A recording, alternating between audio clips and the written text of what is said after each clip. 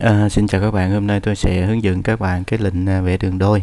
À, vẽ đường đôi là sao? Là khi mình vẽ một đường thẳng nó sẽ đi ra hai đường như này. À, Thì đôi lúc trong à, kỹ thuật của mình cũng hay thường xài cái à, lệnh này ha, lệnh vẽ đường đôi. Thì phím tắt nó là M, M, L, m l Đây tôi làm cho các bạn xem nha. Đây mình sẽ gọi phím tắt m l Enter. Đó, nó mình nhìn nè, current setting, justification là top và scale là 20 uh, style là standard. Đây mình lít nè kêu là specify star boy. Lít chọn điểm kém ra nè các bạn thấy không? Zoom nó lên. Bật kênh cho L lên. Đó, ví dụ tôi muốn kéo ra 100 nè enter nè. Đó, kéo xuống ví dụ 50 enter nè. À, kéo ngang qua ví dụ 100 nè. Đó, enter. Đó thì nó sẽ dễ cho ta cái đường đôi này ha.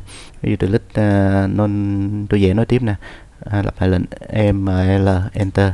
Đó, tôi muốn vẽ tiếp này thì tôi lít nè lít ở trên đây. À, kéo ra vậy là gì? Cái điểm đầu á, nó chọn điểm ở trên ha. À, top nè, justify top này ở trên này nha. Đó thì tôi có thể đổi cái điểm này nha. Đây tôi sẽ kép lại nè tôi gọi là lệnh ml enter. Muốn đổi điểm đó tôi vô cái này này nè justification. Đó ví dụ tôi muốn zero. Zero là sao? Là điểm giữa ha. Click chọn vô đây zero. Đây các bạn tôi tôi click điểm này nè đó, các bạn thấy không? Đó, nó sẽ lấy à, điểm tâm ở giữa đó, đó ví dụ qua 100 enter. Đó, xuống ví dụ như 50 enter enter kết thúc. Đó. Rồi lặp lại lệnh ml nó vô justify. Nếu mà dùng cái bottom là ở dưới ha, bottom ở dưới nên click chọn nè. Đó, ví dụ tôi chọn đây. Đó, các bạn thấy không? Kéo ra thì nó là ở dưới thấy không? Đó, click đạn điểm kéo xuống click đạn điểm enter kết thúc đó. vậy các bạn hiểu thế nào là uh, trên dưới không? Rồi cái scale này là gì? Scale này là để uh, chỉnh cái kích thước này nè.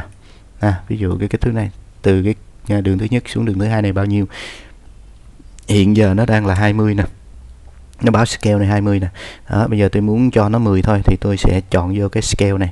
Ha nó hỏi nè cái uh, khoảng cách là bao nhiêu ha? Nhập tin nhập cái scale thì tôi cho 10 enter nè đây các bạn xem tôi lít đại trên đây điểm nha.